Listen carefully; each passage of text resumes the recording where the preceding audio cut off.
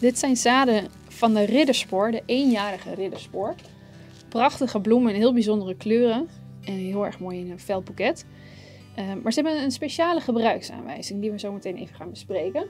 Je kunt ze voorzaaien uh, in de herfst namelijk, omdat ze van kou houden. Dus dat kan in oktober kun je ze voorzaaien, maar je kunt ze ook in februari en maart voorzaaien. Bloeien doen ze vanaf juni tot en met oktober ongeveer. En direct zaaien zou ook nog kunnen. Kan ik even spieken? In april en maart. Nee, april en mei. Omdat ridderspoor ook kleine zaden heeft, gebruiken we weer een zaai- en stekmix die dus heel licht is. Die zaai- en stekmix die koop je kant en klaar. En die heb ik zelf nog aangevuld met vermicelliet.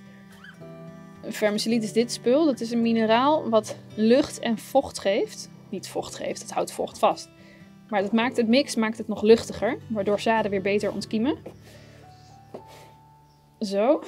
En omdat ridderspoor van kou houdt, gaan we het een beetje op een andere manier aanpakken. Ik heb eventjes van dit soort P9 potjes, die ik over heb van iets anders. Hier gaan we ze in voorzaaien in plaats van in een tray. Normaal gesproken geven we water van onderaf door uh, de trays of de potjes in water te zetten. Maar omdat we nu gaan voorzaaien in dit soort P9 potjes, duurt het ontzettend lang voordat het water helemaal bovenaan is. Dus wat we gaan doen, is dat we de grond eerst nat gaan maken.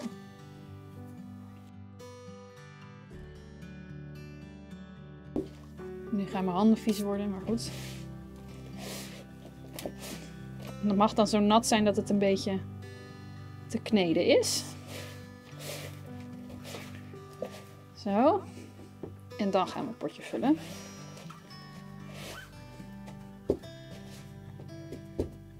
Netjes tot aan de rand. Helemaal vol. Nu gaan we hier, moet je ietsjes nauwkeuriger zaaien. Gaan we er een stuk of, nou hoeveel dat zijn? Ik denk zes ga ik erin doen. Zo.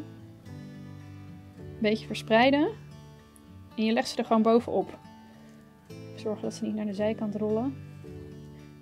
Even goed aanduwen, zodat ze een beetje op hun plek blijven. En dan doen we daar overheen een laagje vermicelliet. Dit zorgt dat het afgedekt is, maar nog wel licht. En dat ze makkelijker boven kunnen komen.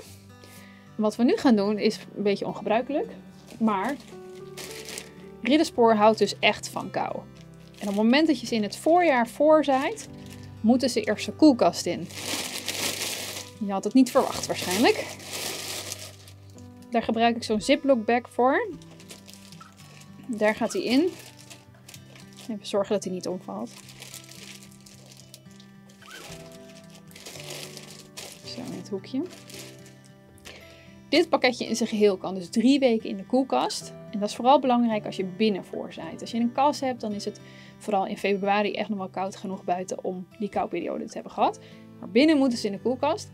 En dit kan er gewoon in, hoef je niet tussendoor water te geven, wat dan ook. op het moment dat uh, die drie weken voorbij zijn, haal je ze eruit. Zet je ze in een kamer waar het ongeveer tussen de 16 en de 18 graden is.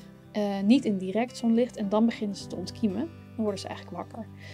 Um, en zelfs dan moeten ze dus koel blijven staan, want ze houden gewoon überhaupt niet van warmte.